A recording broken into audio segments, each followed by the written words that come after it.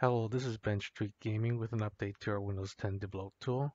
We updated the tool to allow you to run the script directly from the program. See our previous video for a full walkthrough linked below.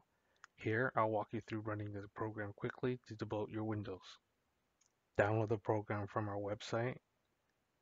Extract the zip to your desktop.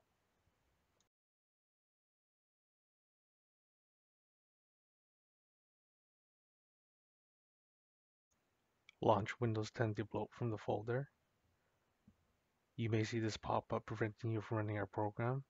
We are new software developers, so that's why you see this. Click More Info and Run anyway. You'll be presented with many tabs and radio buttons. Start off with the default preset in the Options menu. Add your choices. In the Output tab, click the Output PowerShell button to create the script you see in this text box.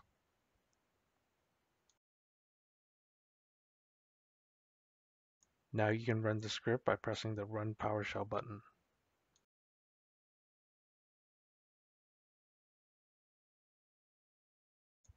Press R and enter to continue.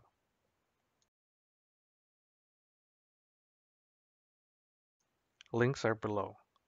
We create tweaks and bench games. Subscribe for more.